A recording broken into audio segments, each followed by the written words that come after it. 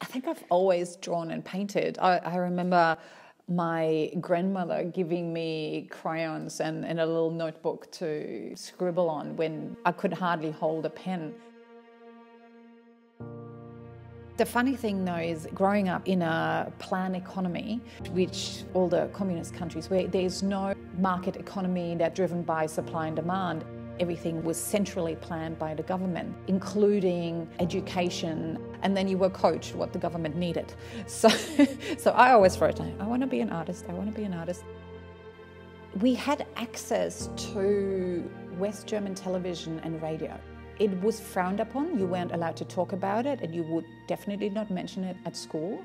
You know, you didn't really think about it, but now when you look back at it and you go like, who would put tanks and soldiers in children's books? I mean, it's quite bizarre when you look at it now.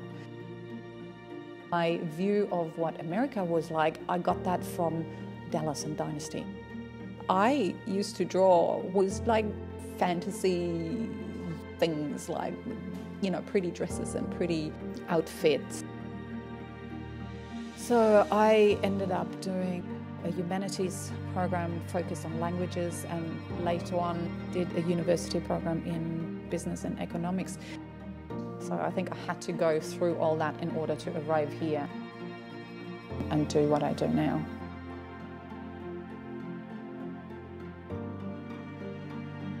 I've always been painting, always been drawing, but really uh, never really thought that I could make it a career until I did, because it always seems impossible until you do it.